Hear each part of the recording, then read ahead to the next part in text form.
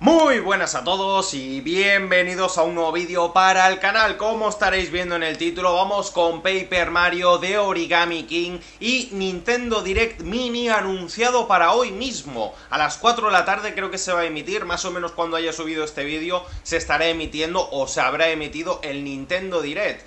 Y venga, vamos a hablar un poquito de Paper Mario de Origami King, qué bueno es. Y lo primero que tengo que decir es que vaya tela con algunas páginas eh, estilo Metacritic, ¿de acuerdo? En el que le han puesto un 6,6, si no me equivoco, por parte de los usuarios. Esto es increíble, yo la verdad nunca había visto nada parecido. Eh, por parte de la comunidad. Y eso que yo eh, Paper Mario lo conozco precisamente gracias a, la comunidad, gracias a todos vosotros, ¿de acuerdo? Que durante mucho tiempo le habéis dado el valor que la saga merece, porque en, ni la prensa ha sabido dárselo, ni muchos otros usuarios que habían tocado en su vida una Nintendo. Bueno, pues yo gracias a muchos usuarios que desde Super Nintendo habían tocado eh, Mario RPG, y han hablado muy muy bien de la saga. Yo es el primer Mario Maker, el Paper Mario, perdón, que me he decidido a, comprar y tengo que decir que menuda joya, menudo descubrimiento. Menos mal, menos mal que hay gente eh, que le gusta de verdad Nintendo, que sabe recomendarte ciertas sagas y como digo, esta gente no la vais a encontrar en Metacritic viendo ese tipo de notas que tiene por parte de los usuarios. Creo que los usuarios de Nintendo saben valorar muy muy bien sus sagas como para ponerle ese tipo de notas y más cuando viene de, de la mano de Paper Mario y con esta pedazo de calidad, recordando esos juegos clásicos como de Super Nintendo de RPG, ¿no? A mí me recuerda muchísimo a, ese videojuego en concreto, al Mario Maker, al perdón, al Paper Mario de RPG, no sé por qué lo confundo tanto. Y tengo que decir que el sistema de combate es buenísimo, así como digo que es un RPG, mezcla también lo que es el estilo eh, táctico, ¿vale? Te, eh, cuenta muchísimo el posicionamiento de los enemigos, te deja moverlo como estamos viendo en pantalla, os voy a poner un pequeño gameplay del juego, os deja mover a los enemigos una especie de tablero y posicionarlos eh, de modo de, a, modo de poder darles el golpe definitivo, poder darles un buen golpe y eh, el tema de poder equiparte armas, poder equiparte objetos, poder tener champiñones a modo de cura como si fueran pociones es increíble, se hace entretenidísimo lo que es el sistema de combate, le da una vuelta de tuerca a ese sistema clásico de combate por turnos y ya está, le da un poco de profundidad, sigue siendo combate por turnos, pero con ese toque de puzzles y ese toque de, eh, como digo, juego de estrategia, que cuenta muchísimo el posicionamiento, dónde están posicionados los enemigos. ¿Qué decir de un, del mundo de Paper Mario? Un mundo preciosista, colorido, divertidísimo, eh, todo relacionado con la saga Super Mario. Y es increíble, ¿de acuerdo? Cómo se lo han montado en este mundo de papel en el que los enemigos principales precisamente su habilidad es doblar el papel.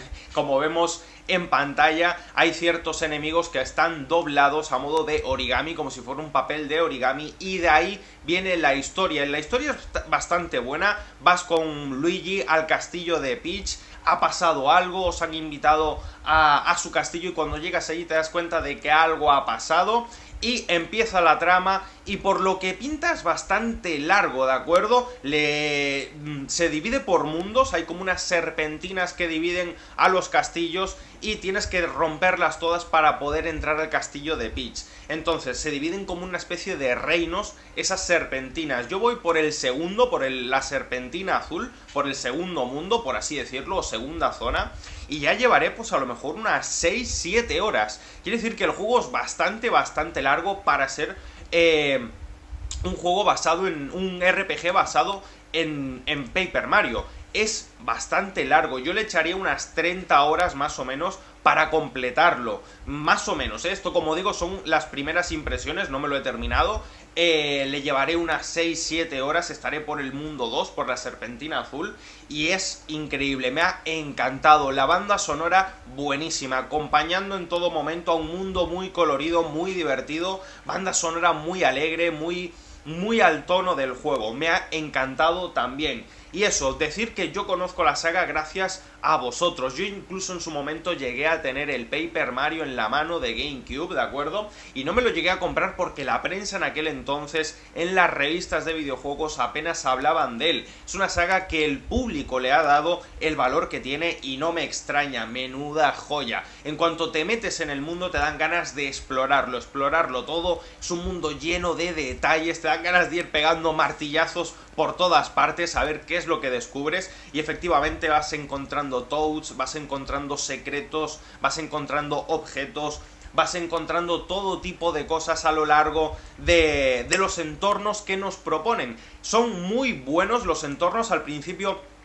eh, juegan un poco eh, con... Bueno, juegan un poco, no, juegan muchísimo con la profundidad. Me, impresiona bastante cómo se juega con la profundidad. Y hay momentos en los que son entornos en dos dimensiones, pero también hay sensación de profundidad que nos podemos mover eh, hacia adelante y hacia atrás, aunque sea un, entorno en dos dimensiones.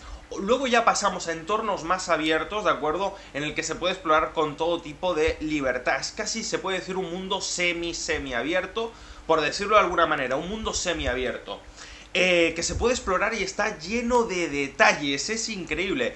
Cualquier sitio al que te acercas puedes interactuar, darle un golpe, sale un toad, sale un secreto, increíble, todo lo que hay eh, por descubrir. y eso que estoy simplemente eh, en el mundo 1, las imágenes que estáis viendo es del primer mundo, todavía no, no había grabado lo que era el mundo 2, la serpentina número 2 y me ha alucinado. Recomendado a todo el mundo este Paper Mario de Origami Kim, que viene, venía precisamente en una época en la que no había muchos lanzamientos y se agradece como agua de mayo este pedazo de juego. Tengo que darle las gracias a los usuarios que tantos años han hablado tan bien de Paper Mario, porque si no fuera por vosotros, si me dejara guiar por la prensa, no me lo hubiese comprado nunca. Y menos mal que al final le di una oportunidad, porque qué pedazo de descubrimiento. No puedo hacer otra cosa más que deciros a todos vosotros que os lo recomiendo. No, no tengáis prejuicios, compráoslo y jugadlo porque es buenísimo. El RPG de mm, Paper Mario es increíble. Como digo, cómo le da esa, esa vuelta de tuerca a los, a los combates RPG con el tema del posicionamiento y todo esto. Las batallas contra los jefes incluso tienen su propio sistema, ya no es simplemente posicionar, sino que ya hay que hacer como un recorrido, ya pasa a ser como una especie de laberinto para poder dar el golpe en el momento apropiado. Yo el, primer, el primer enemigo que me he encontrado ha sido muy bueno, ha sido como una especie de tortuga, que incluso te la puedes llevar, es un, papel elemental o algo así le llaman, que no voy a decir que es como una invocación porque de momento no sé si la puedo usar en combate, pero sí la puedo usar en entornos abiertos para cambiar el entorno y en este momento pasar a, un, a una segunda fase. Así que me da la sensación de que se podrá usar más adelante esa tortuga.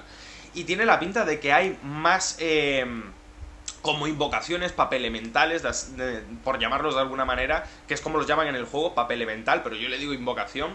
Eh, hay más de uno en el juego, por lo que pinta. Como digo, recomendadísimo a todo el mundo, es una joya. Y eh, como decía, venía una época un poco, un poco seca de, de lanzamientos, pero esto va a terminar con el Nintendo Direct, como comentaba al principio, que llega hoy.